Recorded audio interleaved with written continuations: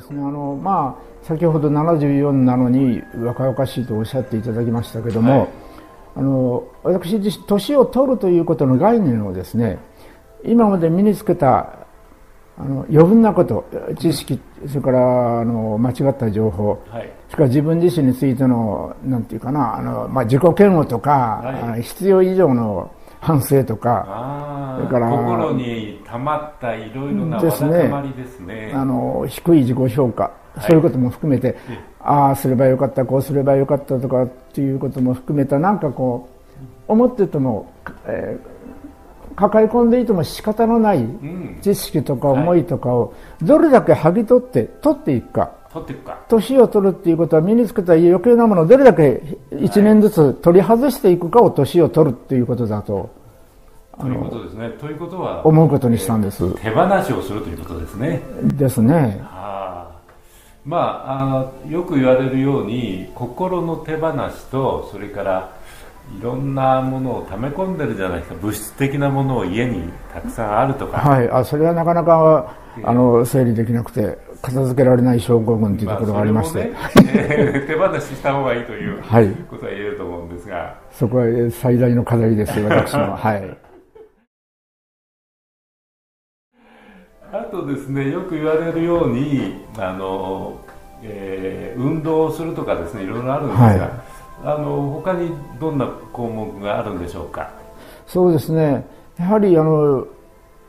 岡ちゃんあ岡ちゃんって言ってよろしいですか、はい。えー、岡ちゃんもあのと同じく私もあのアグライア癒しとあの健康と癒しのいおりアグライアさんの、梶亮太さんの施術を受けて3年になるんですね。私もね、ええ、山井さんからご紹介を受けて、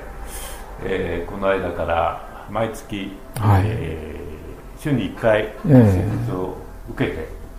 え、なんかね違うんですよね。違いますね、ええ、でそれまではまあマッサージとかには通っていたんですが、はい、あの体直接体に働きかけないのに、うん体がすごくリフレッシュしていく。そで、ね、その体を包んでいる目に見えない木に働きかけて木を送ってくれるという療法なんですけども、ね、まあ、これ専門的な詳しいことはなかなかわからないんですけども実感としてすごくあの体と自分の思いって言いますかね、まあ、魂というか頭でもないなんか自分の思っていることと体が訴えていることが直結するようになった実感があるんですね。いや私もたまたまこの間ですねある機会でオーラを見てもらったら、はい、オーラ？とですね、ええ、チャクラを見てもらったらそれは亮太さんじゃなくて、ええまあ、違うところで、はい。えー、見てもらいましたら非常にバランスがいいよと言われたんですよ。あそうですか。はい。でチャクラもですねしっかりしてると。多分ねこれは施術のおかげだと思ってますね。あ、えあの特にエーテル体と、えー、エセリックボディというのが目に見えないところに我々まとってますからそれを整えてくれてると思いますね。であの体がまあ、正直言って施術を受けてからも、えー、まあ、肩が凝ったりとかぎっくり腰に近い状態にふっとなりかけたりとかはあるんですが、その日のうちに治っちゃうんですよ、ね、これは不思議なんですけども、はい、それと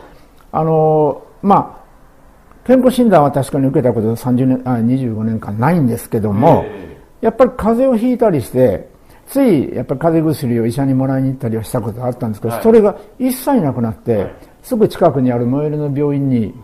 ふと気が付くとこの3年間一回も足を運んでないんですよね。つまり医者いらずになってるということですね。それはいつの間にか。急にそのちょうど施術を受けてからですね。なるほどね、ええ。でまあ施術だけじゃなくて、ええ、その両座さんのおかげでこの裏筋トレも始めましてね。筋トレは始めた。あのええつまり今まで生活というものを頭の中で考えたりですねじっと座って手だけでなんか作業したりすることが多くて。えー、リモートオフィスということで、ええ。ー、いろんなパソコンをやったりスマホをやったり座りながらですね。それとついスマホでねフェイスブックとかあの見てるとあっという間に1時間経って。時間が過ぎてで座ったままですから何も運動してないという。ことです、ええそういう時にやっぱ体をほったらかしにするっていう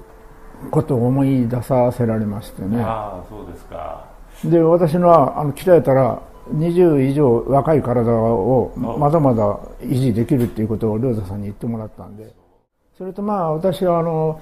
12年前にあの妻が急死しましてねくも膜下出血で。それでその後は翌年からちょうど、まあ、本当は夫婦揃ってあるいは交代で行くつもりだった大阪での両親の世話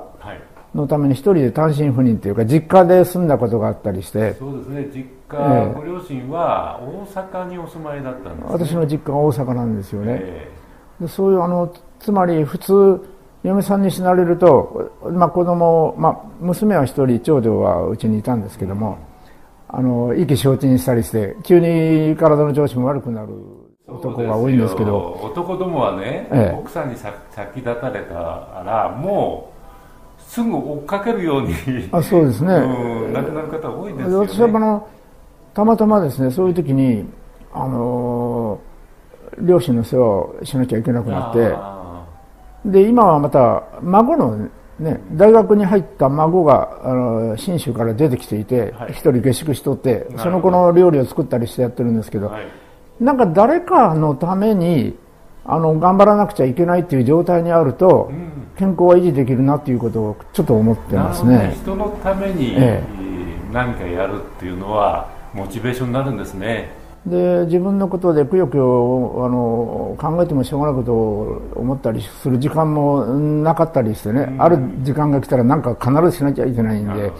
あのお炊事とかですね、えー、その主婦のようなことを、えー、だから主婦っていうのはあの女性の方が男性より長生き長寿者が多くて、うん、あのまあ精神状態の健康な人多いと思うんですけど、これはね、毎日欠かさずしなきゃいけないことが男より多いんじゃないかと。男は会社でも調子が悪いとちょっと休んだりね、あのできますよね、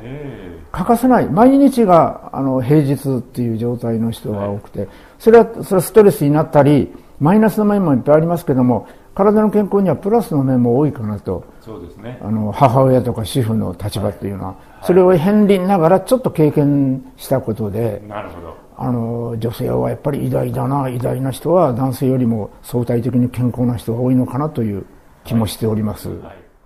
まあ、あの玉井隆さん、このように健康体ですけれども、ままとめてみるとですね、えー、自己防衛ということで、えー、実際やられていると、それから心にたまったいろんなわだかまりを手放しする、それから施術を受けていると、まあ、こういう大きくまとめると3つの点になると思うんですね。はいえー、今日はどうもいやちょっとかっこよく言い過ぎとかもわからないですけど、えーあの手放すのところはね、もう本当手放さないと余計なのがいっぱいたまるどうしようもない自分と戦ってきたわけです。はい。74歳になるといろんなねものがたまってる。私もそうなんですが、はい。よくわかります。まあ以上私の実感と体験のみに基づいて話させていただきました。はい。どうもありがとうございました。今日はねよくお似合いのこのねあのカラーで。あこれもあの次女が。お父さんいつも暗いもの着てるから だから暗い顔してんだよって言ってもっと明るいもの着なさいって言ってこのワイシャツのセーターも次女がプレゼントしてくれたんです素直にその気持ちを置いては子に従っております。受け取りました